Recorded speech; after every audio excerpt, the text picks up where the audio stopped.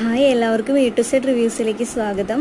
ഇന്ന് നമ്മൾ കൊറോണയുമായി ബന്ധപ്പെട്ട ഒരു വീഡിയോ ആണ് ചെയ്യുന്നത്. അതായത് കൊറോണ ബാധിച്ച ആളുകൾക്ക് ഉണ്ടാകുന്ന ലക്ഷണങ്ങളെ കുറിച്ച് സിംഗപ്പൂർ ഹെൽത്ത് മിനിസ്ട്രി ഇറക്കിയിരിക്കുന്ന കാര്യങ്ങളാണ് ഇന്ന് നമ്മളിവിടെ പറയുന്നത്. അതിൽ നിന്ന് കൊറോണ ബാധിച്ച ഒരാൾക്ക് ഉണ്ടാകുന്ന അല്ലെങ്കിൽ കൊറോണ ബാധിച്ച ഒരാളെ തിരിച്ചറിയാൻ എങ്ങനെ തിരിച്ചറിയാം?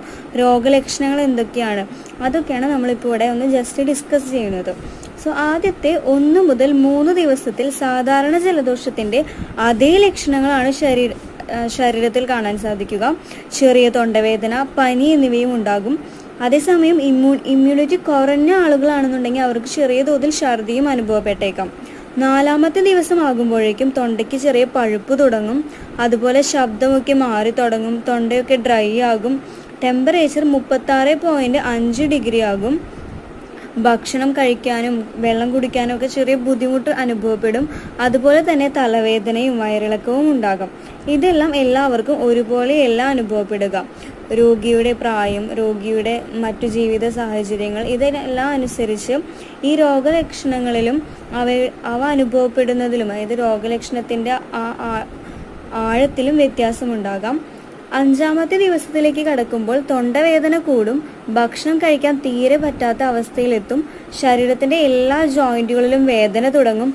ആറാം ദിവസം ആകുമ്പോഴേക്കും പനി മുപ്പത്തിയേഴ് ഡിഗ്രി കടക്കും.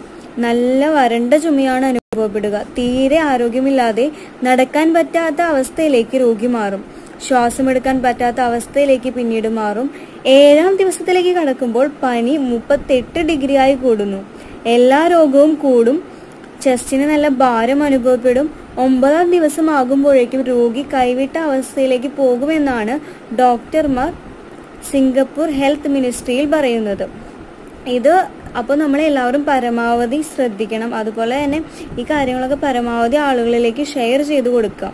ഇപ്പോൾ പനി വന്ന് വന്നാൽ പോലും ആളുകൾക്ക് പേടിയാണ്. ചെറിയ തോതിലുള്ള പനിയാണെങ്കിൽ പോലും ആളുകൾക്ക് പേടിയാണ്. കൊറോണയാണോ എന്താണോ ഒന്നും അറിയാത്ത സാഹചര്യമാണ്.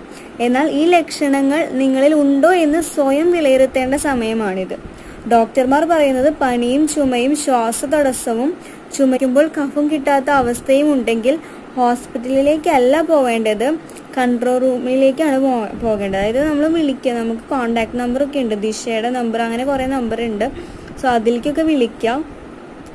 അല്ലാതെ ഡയറക്റ്റ് ഹോസ്പിറ്റലിലേക്ക് പോകുന്നത് ഒരിക്കലും ഒരു സേഫായ മാർഗമല്ല അതേസമയം നോർമൽ പനിയാണെന്നുണ്ടെങ്കിൽ കുഴപ്പമില്ല. പക്ഷെ അത് നമുക്ക് തിരിച്ചറിയാൻ പറ്റിയെന്ന് വരില്ല. സോ എപ്പോഴും നമ്മൾ റിസ്ക് എടുക്കാതിരിക്കുന്നതാണ് നല്ലത്. സോ എല്ലാവരും ഈ കാര്യങ്ങളൊക്കെ ഒന്ന് ശ്രദ്ധിക്കുക. അതുപോലെ തന്നെ പനിയും ഇതൊന്നും വരാതെ നമ്മൾ ശ്രദ്ധിക്കുക. അതായത് ഒരുപാട് മുൻകരുതലുകൾ നമുക്ക് എടുക്കാൻ സാധിക്കും. പുറത്തൊക്കെ പോയി വന്നു കഴിഞ്ഞ് കഴിഞ്ഞാൽ കൈ കഴുകുക നന്നായിട്ട് സാനിറ്റൈസേഴ്സ് യൂസ് ചെയ്യുക. അതൊക്കെ നന്നായി ശ്രദ്ധിക്കുക മാസ്ക് ഉപയോഗിക്കുക. പരമാവധി പുറത്തു പോകുന്നത് മാക്സിമം അവോയ്ഡ് ചെയ്യുക. അത്രയും ആവശ്യമാണെന്നുണ്ടെങ്കിൽ മാത്രം പുറത്തു പോവുക. സോ ജാഗ്രതയാണ് നമുക്ക് ആവശ്യം. നല്ലൊരു ആത്മവിശ്വാസം ഉണ്ടെന്നുണ്ടെങ്കിൽ ഏത് രോഗിക്കും ആ രോഗത്തിൽ നിന്ന് പുറത്തു വരാൻ സാധിക്കും.